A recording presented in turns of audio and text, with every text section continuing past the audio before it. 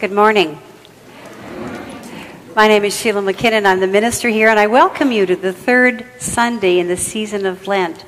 It is our, our pleasure this morning to have with us the very Reverend Dr. Lois Wilson, our friend. And uh,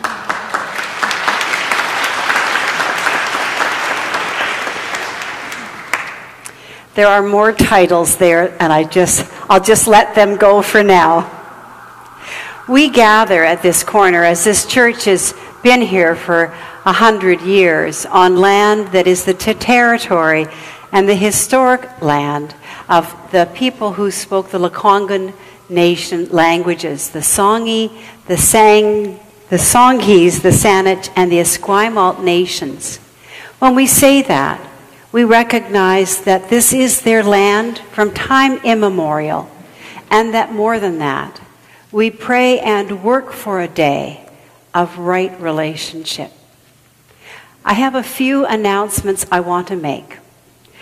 Next Sunday, after the worship service, is a congregational meeting on the budget. There are pre reads on the far tables, and there's also a copy of our annual report. The annual report is available electronically if you care not to use the trees, but if you don't have access to that online, please take one with you. On Monday afternoon, the Women's Spirituality Group is meeting in the Doreen McLeod room. And on Wednesday afternoon, a conversation about the Celtic saints will be happening up in the social suite. These and other announcements are included in your service leaflet. We continue to hold open our book of condolences for the victims of the shooting of the mosques in Christchurch, New Zealand, and they will be available for you to sign during the coffee hour. I don't know if anyone else has other announcements to make at this time.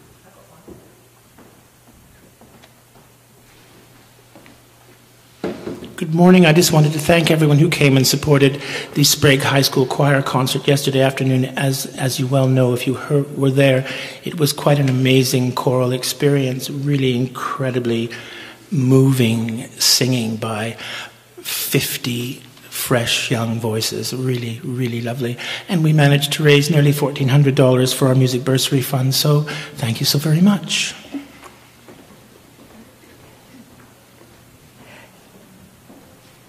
I'm sorry, somebody's holding something up. That Irish Saints has been mentioned.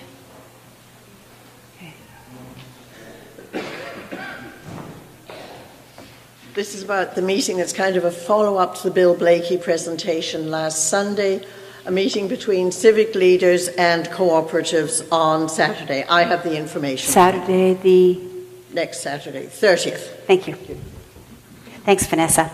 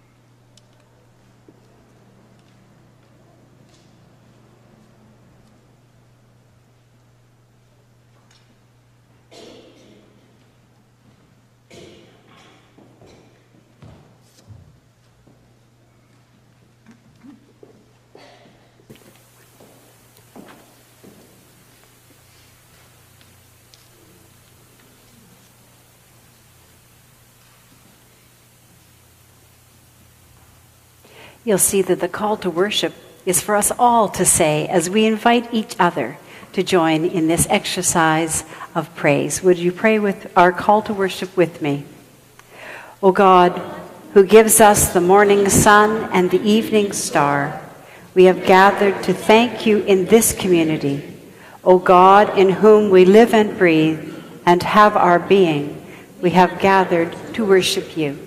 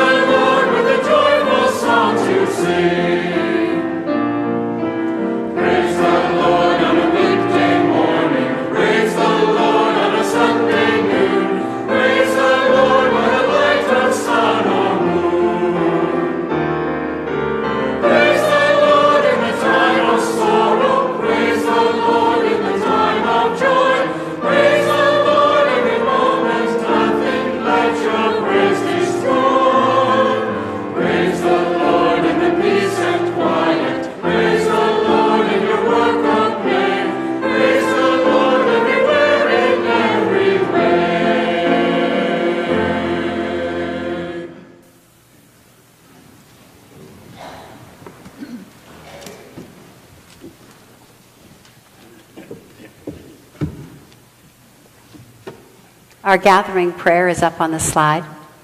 Let us pray. Blessed are you, God of planting and harvest, birthing and growth. Through the gifts of creation, you care for all. Bless us and all families, O God, as this new season of seeding and growth begins. Increase in us an awareness of our interdependence with all creation May we hear your word to us, challenging and inspiring us. May ours be the faith that issues in action. Amen.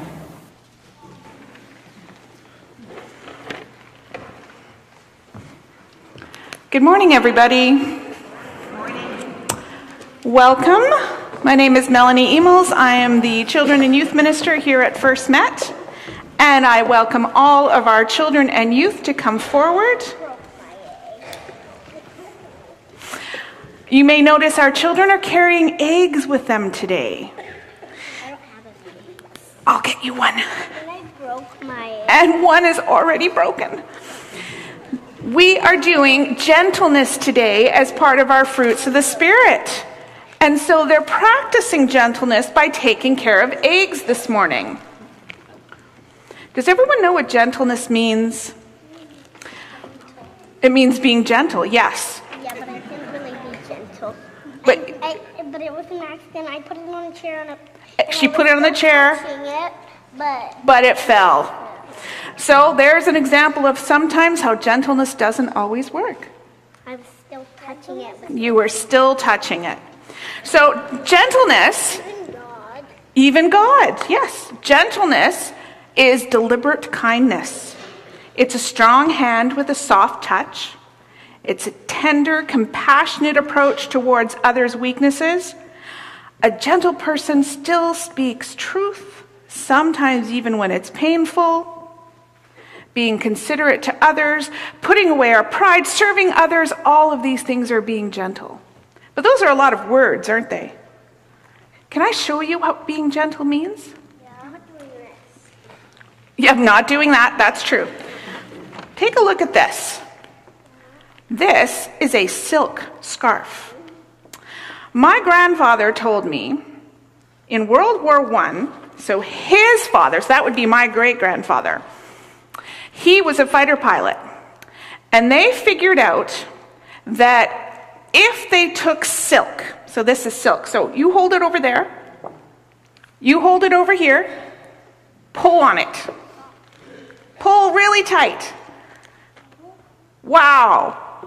Silk is really soft. And it's very, everyone else just touch it. It's very gentle. It's very soft. It's very comfortable to sleep in. Some of us even have silk sheets. Well, my grandfather told me that what they figured out was that silk, if you wrapped it really tightly, and then you, it would be good for a bandage. Yep, that's true too.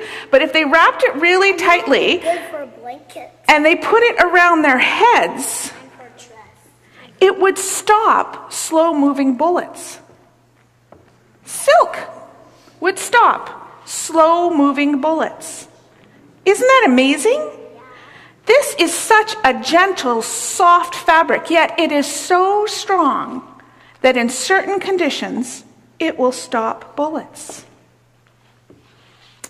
That is what gentleness is like. Gentleness is really, really, really kind and compassionate, but it's also very powerful and very strong, just like silk.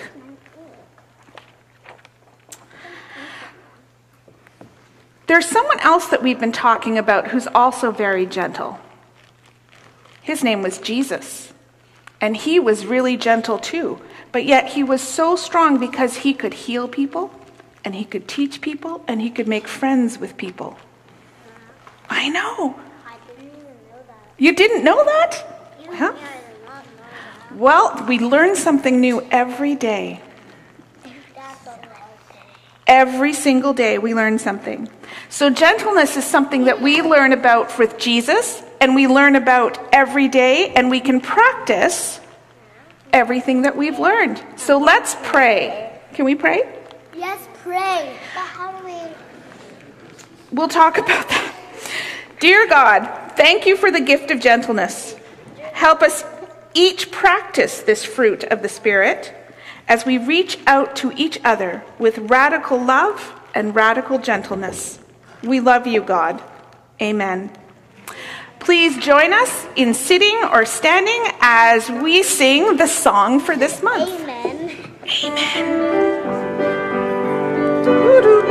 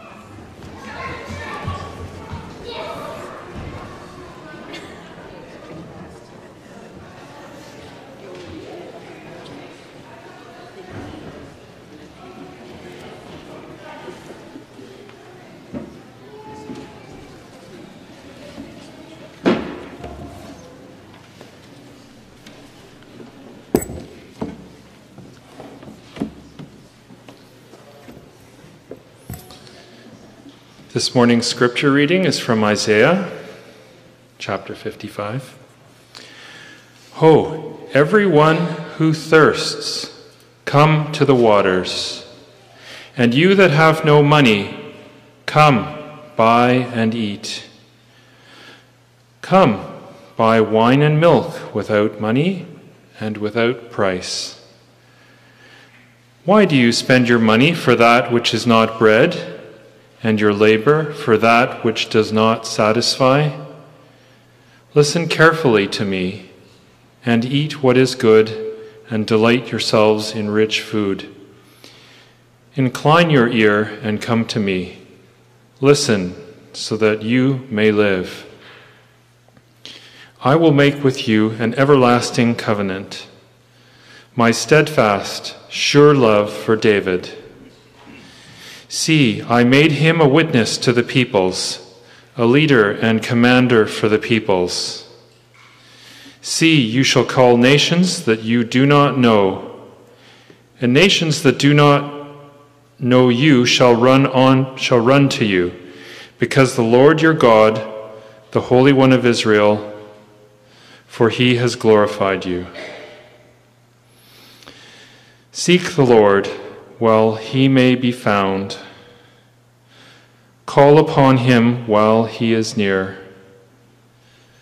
Let the wicked forsake their way and the unrighteous their thoughts. Let them return to the Lord, that he may have mercy on them, and to our God, for he will abundantly pardon. For my thoughts are not your thoughts nor are your ways my ways, says the Lord.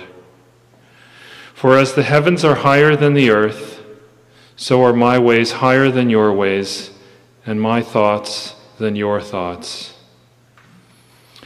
For as the rain and the snow come down from heaven, and do not return there until they have watered the earth, making it bring forth and sprout, giving seed to the sower and bread to the eater, so shall my word be that be that goes out from my mouth. It shall not return to me empty, but it shall accomplish that which I purpose and succeed in the thing for which I sent it.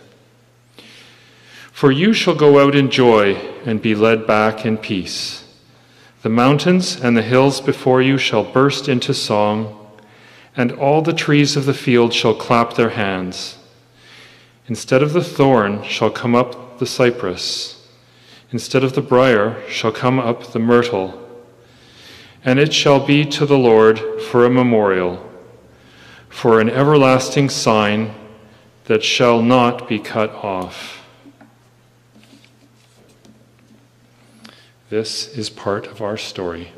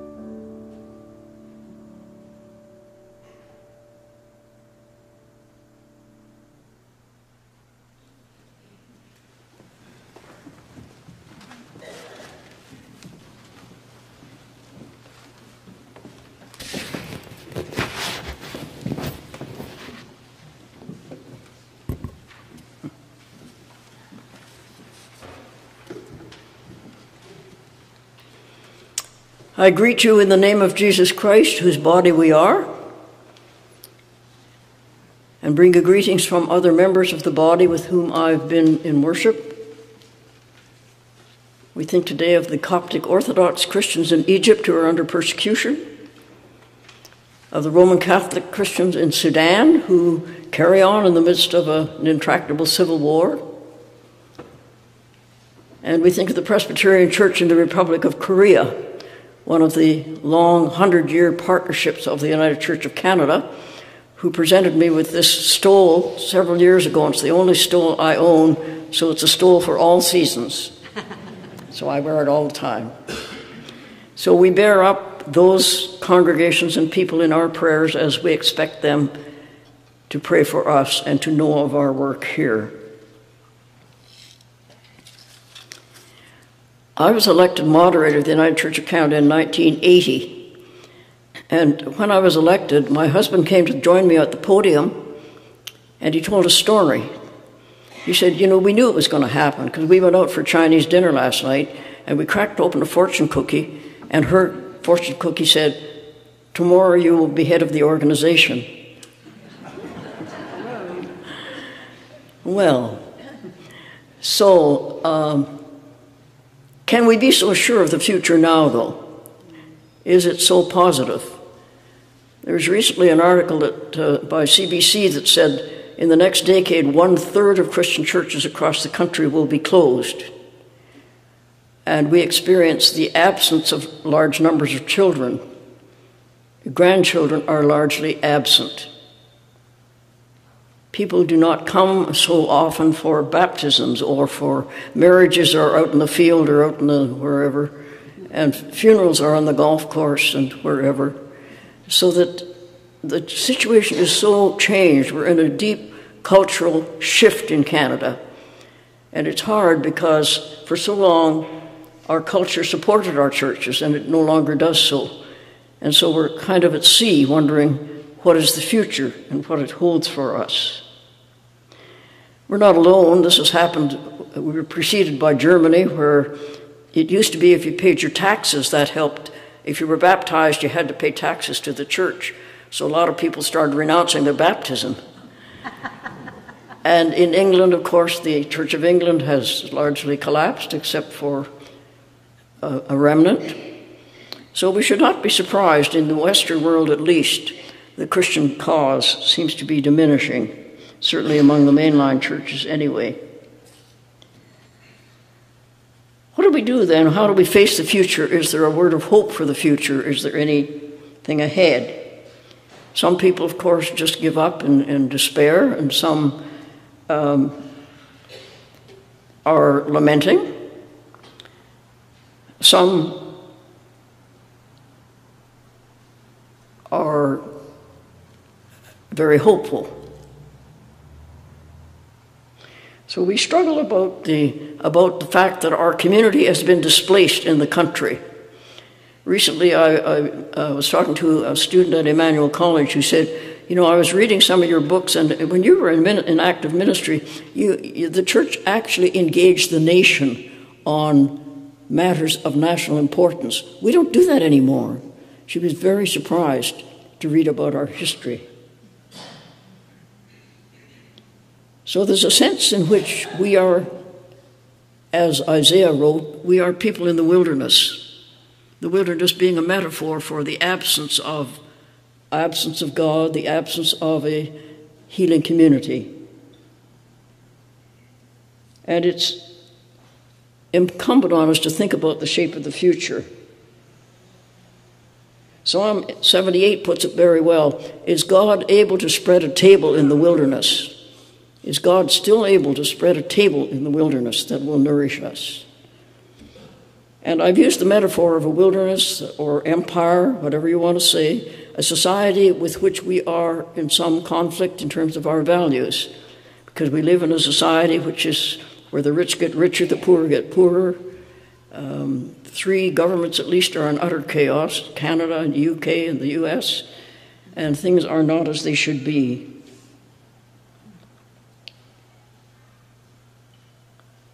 Is there a word here? Is there a word from Isaiah that addresses this? Well, in Isaiah 55, a wonderful passage, I got onto it because some of you are old enough to remember that old movie, uh, How Green Was My Valley. And when the four sons of the miner had to leave Wales because the, the coal mines had dried up, the father says, Oh, that calls for Isaiah 55. We're going to have to read that. So it's a, it's a, it's a poem, really, about the future. And Isaiah was a visionary, uh, he was a poet. So don't read this literally. Please don't read it literally. Read it as an invitation to let your imagination flow and be informed by the poetry of it, because it is a vision of the future. There's a contemporary theologian, Walter Brueggemann, who speaks of us living in two worlds simultaneously the perceived world, which is the world we're in this morning. We had our breakfast, we came, and here we are and the proposed world. And the proposed world is the world of the gospel of Jesus, which speaks of love and mercy and compassion and forgiveness and all those things which barely exist in the perceived world. But our calling as Christians is to so live by those values of the proposed world that they become a reality. Or another way of putting it in the Gospels is we pray, Thy kingdom, your kingdom come. In other words, we want that proposed world, and is the perceived world uh, is, is what we live in. And that's also in the Gospels, but the kingdom is also here among you. So it's a paradox. It's a paradox. The proposed world, the values that are not yet visible here, and yet they are sometimes. Well, Israel was a minority, as we are, and they were in the wilderness. They just come through. Part of this is based on history, and I ought to give you a short history lesson so you'll understand it. Uh, Israel had been in captivity in Babylon, and they were just returning, but they knew Persia was coming, so it was not a good time. They were, and they didn't think they'd ever see Jerusalem, which was the center of their community, ever again. So they had been displaced, as we are displaced. And yet, out of that came this vision of, of uh, Isaiah's. How, what was it? Well, it's a, it's a poet. It's a poet, poem of religious imagination. And it's a wonderful poem. It starts with a public invitation Ho ye that hunger, come, all you that hunger. Come eat, come buy, come Buy from the street vendors. It's going to be like a circus. It's going to be fun. I mean, it's open to everybody. Why spend your money for, for junk food when you can have really good bread, really good food from what's offered to you?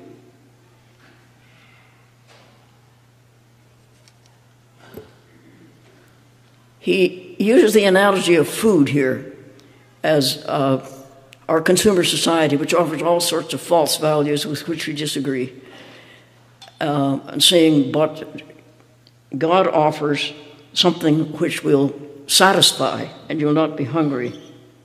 So, why buy into the consumer society? Why don't you take on your true identity as a, as a son or daughter of God and live as though the presumed world or the proposed world's values are here?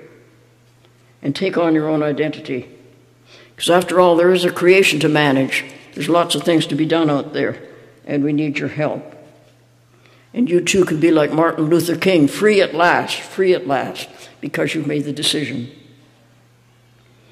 The text, the text refers to the, then to the historic covenants of God, uh, with starting with Abraham and Moses and David and the whole rest of them. And any well-informed person who knows the history of our community we'll have some confidence in those covenants, that our history has said that God is reliable, that He's not just going to jettison us and leave us on our own. And there's a source of hope there. It's a long, long covenant. However, sometimes the vision, the vision that is held up to us of a better world, fails. There's the apocryphal story of a Jewish rabbi who uh, rented a storefront uh, during Lent and in it he put a lion and a lamb. And everybody was just astonished that the lion and the lamb lived together in this storefront for the whole of Lent. And they asked him, What, what was your secret? Oh, he says, We have a large supply of lambs. So sometimes the vision does fail, but it's there. Well, then Isaiah goes on to talk about repentance. That's our side of the covenant. God will provide all this free meal in a circus on the street with vendors and so on with really good food, but we have to repent. Now, repent does not mean feeling sorry, and for United Church people, it's not a very popular thing. Repent really means take a new direction, and that means new choices in, economically, politically. I think you heard from Bill Blakey last week, and he, I'm sure, laid this out. So it's not just an airy fairy, I feel sorry, but it means a definite change in direction and particular choices that you make. Uh, it's not just a change of heart. Some time ago, some, some um, theologians from Latin America came to Canada as our guests, and afterwards they were asked, What did you make of the Canadian churches? They said, Well, it's fine, except all their church people seem to think that repentance is feeling sorry. And that's not it at all. So it's much more than that. Um, and I wonder why, in so many United churches across the country, there is no prayer of confession. Is it because we think we've arrived? I don't know. But we need to reclaim that part of our story because we're not perfect. So we are in Lent, a season of lament, absorbing the anguish of the rest of the world. And it's an absolute prerequisite for the rest of the story. Isaiah then turns to the mystery of God's uh, meaning, it, uh, and its reliability, and says, you know, God's care for us and the offering of free food and in in a place of famine in the wilderness is as sure as when you plant seeds and they come up and they sprout. So it will happen, and not immediately. And then they're offered symbols of hope symbols of Sarah having a child when she was way beyond child time. Uh, I recently met a young man who said to me, Well, you know, I'm going to get married soon, but we're not going to have children because I can't bear to bring a child into this world. We've only got 12 years before climate change is irreversible, and I just cannot, cannot conceive of that. So a child is a sign of hope, and it is a sign of faith in the future which some don't embrace. So there are symbols out there. Well, the rest of the, of the passage of Isaiah is uh, assuming that we have taken a different direction, that we have made these hard choices, that in fact we are doing our part in the covenant and in bringing the presumed, proposed world to the perceived world, then in fact uh, there will be hope. And um, he, he talks about it very openly and answers the question can God set a table in the wilderness affirmatively? Yes, it can happen. And the whole of Isaiah at the end burst into doxologies of praise. I mean, it's a wonderful passage when he talks about the, all of nature, the trees clapping their hands, and all of nature joining in. So hope is found in the wilderness. Now, what's hope? Well, when, hope isn't hope if you can see it. I once took a group of students to Argentina to visit the base communities there. The base communities were started by the Catholic Church, and they, got, they were consisting of slum dwellers that a priest gathered together, and the slum dwellers had been evicted from their homes because a big modern highway had put in to bring the tourists from the airport to these posh hotels. And here were these poor people in the slum utterly discarded and seemingly without hope. But the Catholic Church brought together priests who would, who would nurture these small communities. So we went to visit, they called them base communities. We went to visit them one day, and they were all over there, and we were all over here, and the students all had their cameras up clicking, you know. And finally, one of the people in the base community said, Would you please put your camera away, and would you come and join us? And they talked about hope because they lived in what looked like a hopeless situation. And my experience is that people who have so much hope always come out of a hopeless situation. I spent some of my time on your behalf in South Korea when a whole generation of students was slaughtered because of their struggle for democracy and human rights. And meeting with some of the professors who had lost their jobs and been imprisoned because of their struggle for democracy uh, was very enlightening. They would tell jokes about each other. Oh, you betrayed me. And then they'd laugh uproariously. And I couldn't believe it that people who had suffered the most indignities were the most hopeful. So, hope, it seems to me, comes out of hopeless situations. And in the book of Romans, we read now, hope that is seen is not hope. Well, Isaiah speaks of hope not only of ourselves, but of the all of creation. So here is a word, I think, for us in Lent from Isaiah 55, a word that says there are many people in history who are well known to God and many who are not well known. And we look to the day when they will all gather together, when Desmond Tutu and John Vanier and Sheila McKinnon and you and me and the people in jail and the prisoners and the people living under the bridge and the people who have nothing to eat and the people without hope will come together and will laugh and dance and sing. Wait for it.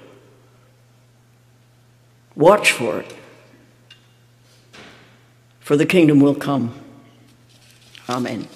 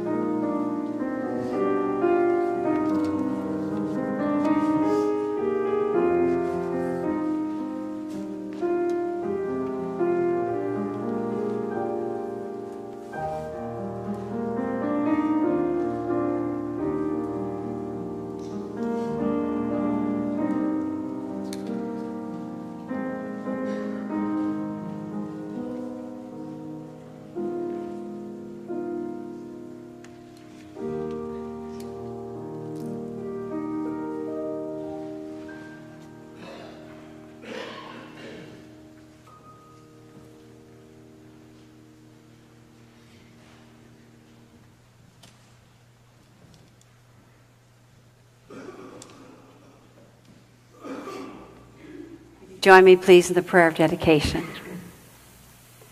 O God, who brings us out of darkness into light, out of winter into springtime, and out of death into life, bless us, we pray, as we seek to respond to all your gifts to us. Amen.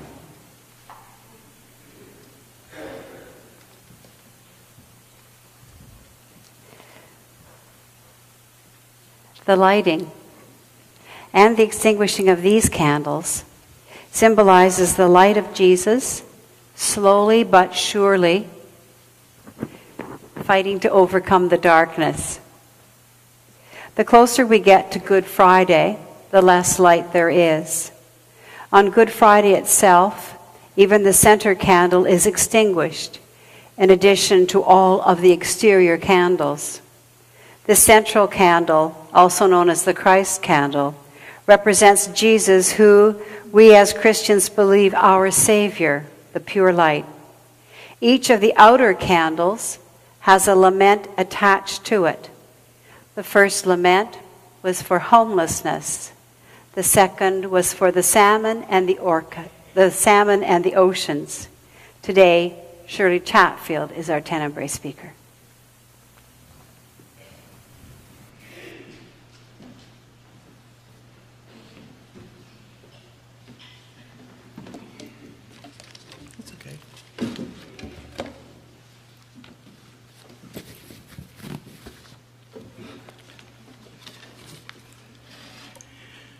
Today, our lament concerns a rather common condition, that of dementia, one form of which is Alzheimer's disease. I preface my remarks by saying I do not have a medical background, nor have I ever had the unfortunate situation of having a close family member who was afflicted. My interest comes from a lifetime interest in pastoral care. It is concerning and even frightening how many times we hear of personalities who have received the diagnosis of dementia. I am sure most of us have friends or a family member who are dealing with its progression. I am going to share several experiences I have had over the past 40 plus years. The first was a very dear lady who I visited under the Visiting Eldership Program and we had become good friends. It became apparent there was something wrong when she began to forget I was going to make my regular call, as arranged by telephone in my lunch hour. This was for a visit in the early evening the same day. Fortunately, her daughter came to Victoria and realized her mother was no longer able to care for herself. About six months later, my mother and I visited her in a very nice complex care facility in Calgary. The change in her was very pronounced. She was extremely frustrated at being unable to express her ideas in a full sentence. Some years later, Mother and I visited some of her cousins in Iowa, amongst whom were Aggie and Bob. Bob was a veteran of the Korean War who was, had returned home to become a highway patrolman. He was definitely not your TV example of a highway patrolman. No Erik Estrada there. Or for the people that we see in the news broadcasts picking people up for wrongdoing. He was about my height and of slight build. However, he had several commendations for his work. One of his hobbies was working with wood. He made the most glorious grandfather clocks from scratch. In one of her Christmas letters, Aggie told us Bob had been diagnosed with dementia. He was at the stage of sleeping most of the day. And often in the evening and during the night, he was up trying to go to the basement they no longer had. Eventually, Abby, Aggie's doctor told her she must place Bob in care unless she wanted to wind up in the hospital herself. Reluctantly, she agreed, but visited him every day until he died some years later. I will never forget her response to my expression of sadness at their situation.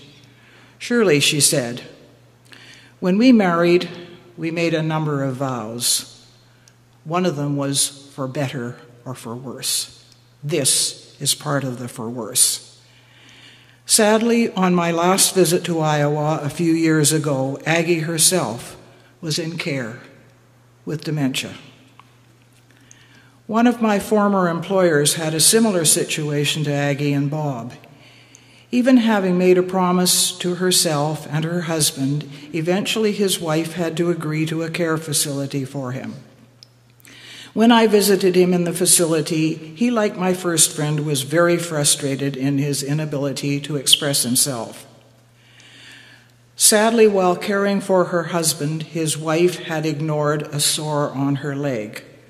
By the time he had died and she sought treatment, the diagnosis was metastasized cancer. Unfortunately, about eight months after his death, we met to celebrate her life. Not long ago, I was stopped by one of my neighbors in the hall of my apartment building. I had suspected something was not quite right with her husband, as for some time he had not been driving. She told me he had been diagnosed with dementia two years before. In case we ran into each other in the hall, taking out the recycle, or for whatever reason, she wanted me to know about a change in his personality. She said he had never sworn in all the years she had known him. At that point, they had been married for over 50 years. But now he had, as she put it, begun to use some pretty fancy terms of phrase.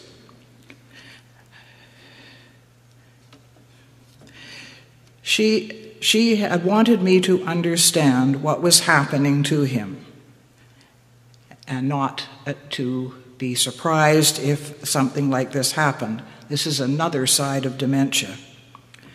The final story is the mother of a friend of mine who died lately at 99 and a half. She had lost her husband to the complications of Alzheimer's many years ago. Now, three of her four quote unquote children are in varying stages of dementia, including my friend. Can you imagine what a sense of loss this wife and mother must have carried in her heart? As well as remembering and trying to support those suffering with the condition, we must support the partners and families. I am so glad we have the Caregivers Support Group here in the church. There is an inevitability on all the, in all these examples. They end in a sense of sorrow. In some way, this is rather like the sense of sorrow of the, and the sense of the inevitable in the events leading up to Good Friday. I sometimes get asked how to talk to people with dementia. I really don't have an answer to that question, except to say, be as natural as you can and follow their lead. Some people are fine with you trying to help them complete ideas when you are sure what they are attempting to say. They will usually let you know if they do not want that help. Sometimes we just need to listen and to be present. We just need to be. May it be so.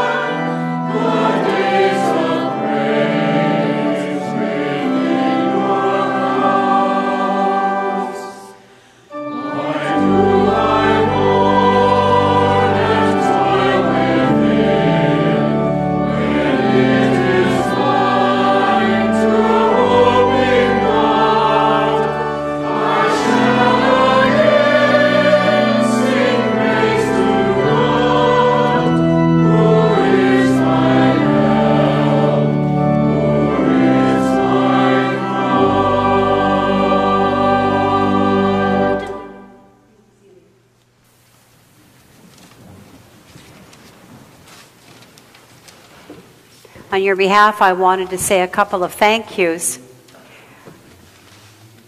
Reverend Doctor, etc., Lois, thank you so much for being a friend to this congregation over many years and for coming back and um, gracing us, instructing us, and encouraging us this morning. Lois reminded us of our deep connection with churches far from here and people that we ourselves may never visit, who both rely on us and inspire us those web, that web of relationship is very important as we continue to seek to hear the voice in the wilderness and even sometimes to be the voice in the wilderness. And that at a very different end, Shirley you reminded us of the close relationships in this congregation and how in our relationships we have opportunities for lament and then also opportunities to be a resource and a support. I would share with you that Barbara Langdon lost her sister on Thursday and is in Kamloops with her and ask and commend her to your prayers. There are people we pray for each week in this congregation. The prayer team here works constantly, connecting, remembering, sharing, and lifting up those who mourn, those who are in hospital, those who are experiencing the effects of all the many dislocations in life. Louise, Dennis, Anne, and Helen are in hospital. We remember them. But also, we remember all those who grieve, like Barb, like the friends of Jamie Shaw back home on Bowen. And we also celebrate. I see in the bulletin that somebody is turning 100 this coming weekend. So, for those of you going to that party, I think you should start blowing up the balloons probably tonight. And um, by next Saturday, you'll be all done the 100 you need. But what a wonderful opportunity that is to celebrate the good times. And so we go. We go from here, one part of a vast web located in history, in geography, and in the blessed imagination of the sacred spirit. We are resourced, we are encouraged, we are perplexed, we can be bewildered. We are never alone. In life, in death, and life beyond death, God is with us. Thanks be to God. Amen.